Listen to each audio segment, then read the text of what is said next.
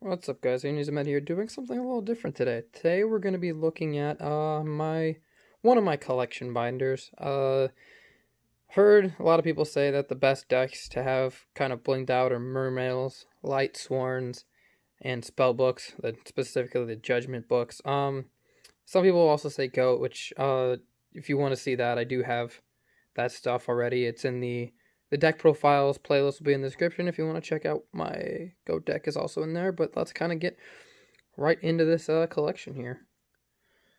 You have the first Mermails. The everything that can be first ed is first edition. The Megalos, Tias, and the guns. Uh, everything, or this is a very popular deck to like see blinged out. So if you're like looking at deck profiles, it's very, very common for um mermails to be on the on the list. So this lead is actually pretty interesting. Um, it has the uh, Direwolf Shadow. That's uh, the German one. Most of the stuff is English, um, but this I wanted to get the cool misprint. I also have the Direwolf with the lead shadow. Um, you never know when you're gonna need to play three of each Atlantean, so gotta have all those. And then uh, I did play a little bit during the era when Prince was played, but mostly played the era with the Undine engine. Actually, when I played this deck, I played commons because uh, I personally think rarity stacking's a myth or whatever, but the the good super diva. But hey, I had I had uh, German first egg commons. Uh, this is actually the most recent thing I picked up. Uh, the LON first Aqua Spirits, uh, German super kaiju's. I did top a regional playing uh, Abyss Soldier in the main, and then I really like Fishborg Archer as a card. Got the Devil Moray. The uh, scale for the uh, OTK combo with Prince. Three spheres, and then I did get a second skull from my roommate. Shout out to him because uh, there's a few original mono lists that played it. Uh, I got the Shark Trike combo. Um, I do have the other two ice barriers DT, they're just not in this binder because this is strictly Mermail stuff. Um, I do have one Italian Gaios. And we have the the Toad. Uh, I, I, I never played with the Link, but I don't know, it was cheap and I have it. And then I have the On Onlim Aqua Spears that I just replaced. Next binder here. Next page, we got the Lightsworns. Um, I originally, there's a guy on eBay, he was selling two near mints of the German Judgment Dragons. Like I really like the Secret Foreigns, and then he, I noticed the same seller had an LP one, um, and another listing, and I was like, sure, let's complete the playset. Nothing I play plays three, and then sure enough, I've been picking up Lightsworn Rulers, and uh, that does play three. Got the Luminous Lylas. I do have one uh, German Lumina. Got Super First Rykos. The Celestias. There's some builds that play three during like Edison. Um, so I did end up getting a playset. And then the Wolves.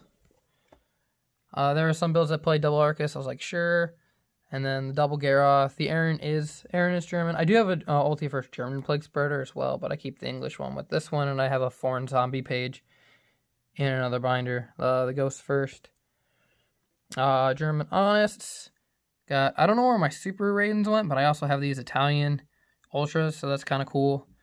Uh, I got two Jain. Made sure they're both uh, Legendary Collection ones rather than Mega Pack and the three Necros ulti first. So we have the three Charge of the Light Brigades, one German. I finally found the third secret first for a decent price, so I was able to replace on my last Unlim. Uh, three ulti first recharge, and then the recursions with the beckoning and the reincar. And then I just recently grabbed this Herald of Creation just for older builds that ended up playing it. Um, obviously, this is going to be the standout. It doesn't look as shiny because I have a perfect fit around it, but I do I did pick up a Super Minerva about a year or so ago for about 400. And then I just got my second ulti first allure. I got the French one, then I got one English. I really like it when my cards match, but and then this is that German Unlim that I just replaced. And then I do have some Cast Dragon stuff as well. Got the Light Pulsars, the Dark Flares, uh, Secret, like I said, like the Secret First Foreigns. Dad, and then there's actually two, you can see. Light Ray Diablos, that's just in case. But then the two red MDs, um, I do have a third Wyvern coming, and then uh, this card is like a weird tech card. I just found it in my bulk, and I was like, yeah, some builds used to play it. And then we got the ulti first, uh, Future Fusion, and then the five head, and then the three Ulti German Drags. And then we get into the spellbook stuff. I don't have any of the uh, Priestess. Don't really play. I never played that build. Um, I do have Hobby League Kaikus as well, but uh, super first for this. And then there wasn't really a cool printing of Defender, unfortunately. Uh, these actually were really hard to find for first ed. Uh, this was back when there was that $3 minimum. And then there wasn't any cool, so I was like, Dual Sleeve Blue's fine with me. And then we have this the searchers here. We got the Secrets, the Master, and the infamous OG First Spellbook of Judgment. And we have more searching with the Crescents.